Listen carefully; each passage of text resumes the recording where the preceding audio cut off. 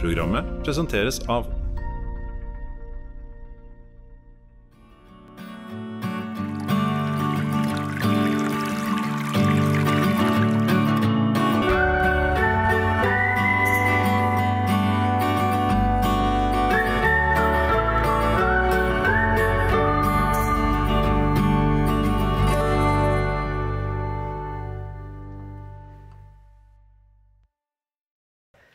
Hei og velkommen til Indre Fosen kommune.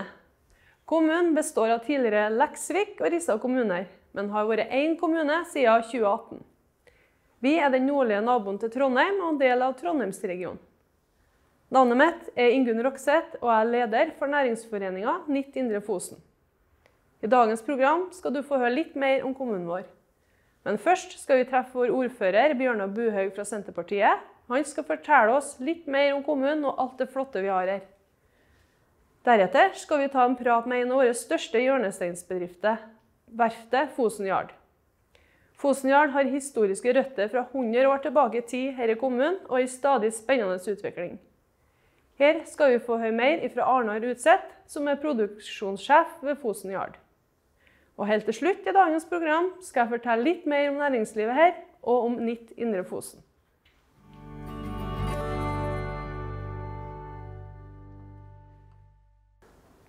Indre Fosen ligger vakkert til på Fosenhalvøya, på nordsida av Trondheimsfjorden. Vi har ca. 10 000 innbyggere fordelt på mange flotte bygder og grender i kommunen. Vi er en tradisjonell landbruks- og industrikommune, men har i tillegg et rikt og variert næringsliv innenfor mange spennende områder. Med tette koblinger til teknologihovedstaden Trondheim med sine universitets- og forskningsmiljøer, har det òg vokst fram mange teknologibedrifter i Indre Fosen. Og det pågår også en spennende satsing på sjømat og blå sektor. Vår største hjørnesteinsbedrift er Fosen Yard, et skipsverft som gjennom et år har flere hundre mennesker i arbeid. Med et rikt og variert næringsliv arbeider de aller fleste av våre innbyggere i egen kommune. Men vi er òg en del av et felles bo- og arbeidsmarked i Trondheimsregionen. I overkant av 10% av våre innbyggere tar reisen over fjorden hver dag og pendler til en av de andre kommunene i Trondheimsregionen.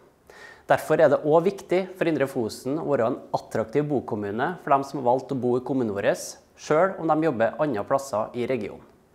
Et godt skoletilbud, trygt helsevesen og et rikt kulturtilbud er derfor viktige oppgaver for Indre Fosen kommune. For at hverdagen til våre innbyggere skal fungere, er samferdsel, og da spesielt fjordkryssing, noe som er vesentlig. Vi har ferjesamband med Trondheim, i tillegg til hurtigbåt til både Brekstad og Trondheim. Og er det flere som kan tenke seg å bo sørvendt og vakkert på nordsida av Trondheimsfjorden, så har vi plass til flere.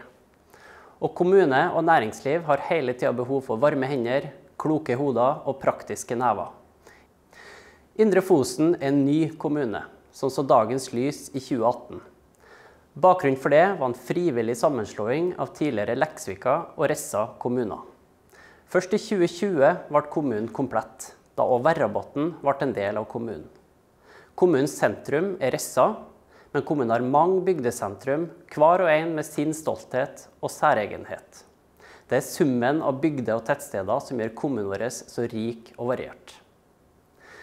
Det er et godt og variert handelstilbud Indre Fosen, hvor Rissa sentrum spesielt har et rikt utvalg. Det er til stor glede for både fastboende og alle dem med fritidseiendom i kommunen. Med mer enn 2000 fritidseiendommer i Indre Fosen, så er det mange flere enn våre egne innbyggere som kan nyte tilværelsen i den fine kommunen vår. Og vi er òg veldig glad for alle dem som bare er innom på besøk i Indre Fosen. Og her er det mye å oppleve. På museet Kystens arv på Stadsbygda kan du få et innblikk i både kommunens og landets rike kystkultur. Søker du adrenalin, kan en klatretur i Munkstigen anbefales.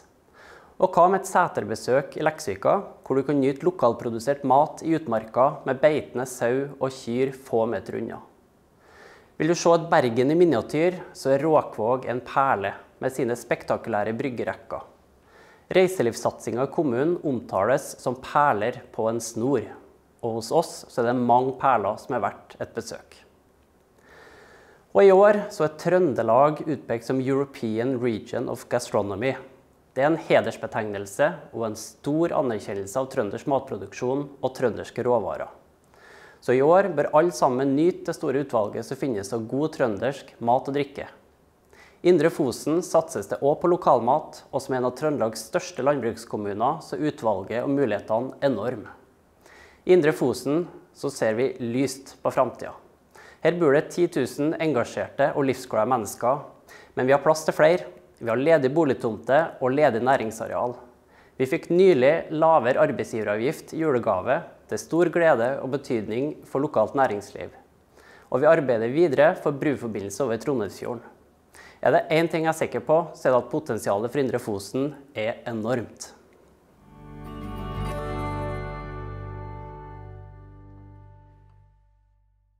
Hei, jeg heter Arne Rutseth og jobber som produksjonssjef på Fosen Yard. Vi bygger, vi bygger om og vi har service på båter og skip. Bedriften har røtter tilbake til eh, faktisk 1918. Eh, den gangen òg var det båtbygging det handla om. Vi kommer litt tilbake til det, men båtbygging er noe vi har holdt på med her i minst 1000 år.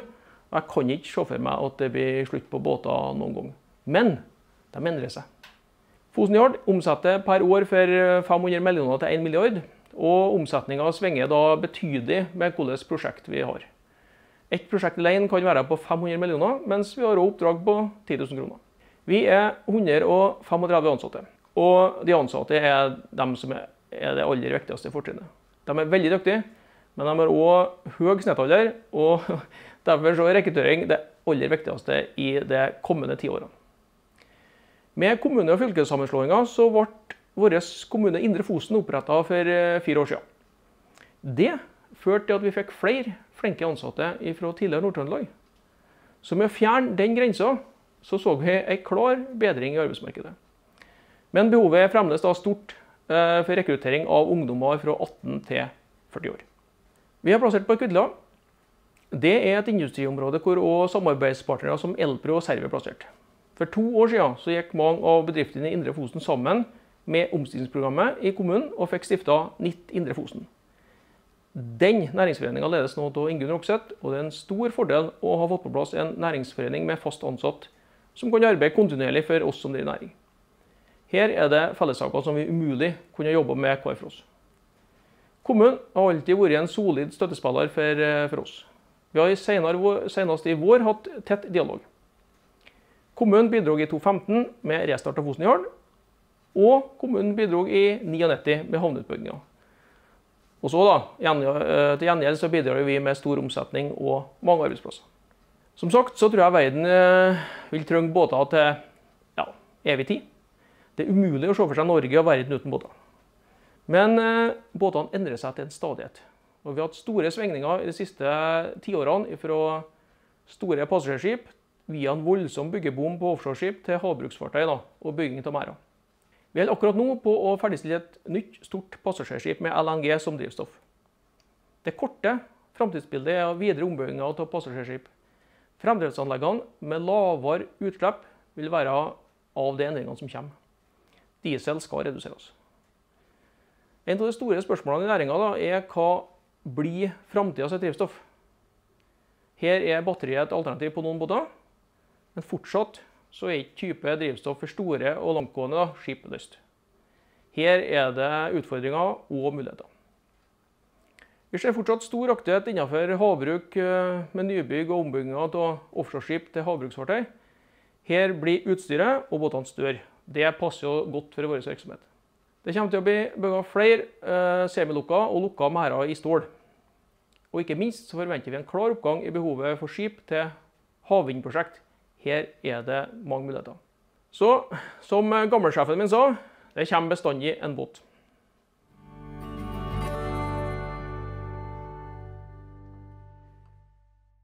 Nytt Indre Fosen er en del av næringsforeninga i Trondheimsregionen. Vi ble etablert i Indre Fosen i mars 2020, to dager før pandemien brøt ut og Norge stengte ned. Tidligere var det to foreninger Fosen Industriforum og Rissa Næringsforum. Men de sammen ønska å ta et aktivt valg om å bli en del av NIT, og med det kunne etablere en felles ressurs i Indre Fosen. Det var litt av en tid å starte opp næringsforening i. Samtidig kunne kanskje ikke timinga vært bedre. For nå trengtes det bistand, en prat, og veiledning i jungelen av covid-regler, søknader og stadige endringer. Og ikke minst bekymring om bortfall av aktivitet, kunder og ordreinngang. Men vi kom oss igjennom, og vi har beholdt medlemmene gjennom pandemien. Og vi har økt på til å være 95 medlemmer innen industri, bygg og anlegg, handel og service, reiseliv, helse, eiendom og finans med flere. Indre Fosen er en stor industrikommune og har kanskje en atypisk næringssammensetning enn mange andre kommuner. Av 4200 sysselsatte jobber ca. 800 i industrien, 430 i bygg og anlegg og 350 innen varehandel. Vi er òg den kommunen utenfor Trondheim som har flest teknologibedrifter. Dette kommer nok av at vi hadde to markante gründere, ved Bjørn Lyng og Jens By, som virkelig har satt sine fotspor. Og de er et utgangspunkt for mange av bedriftene som er i dag. I tillegg ser vi òg knoppskytinga av eksisterende bedrifter. Det som kjennetegner næringslivet her, er en høy praktisk kompetanse. Det er ikke en ting man ikke kan lage, produsere eller løse i Indre Fosen. Det er jeg ganske sikker på. Her er det mye Petter Smarton, gode fagarbeidere og godt håndverk. Produktutvikling og gründerne må òg nevnes.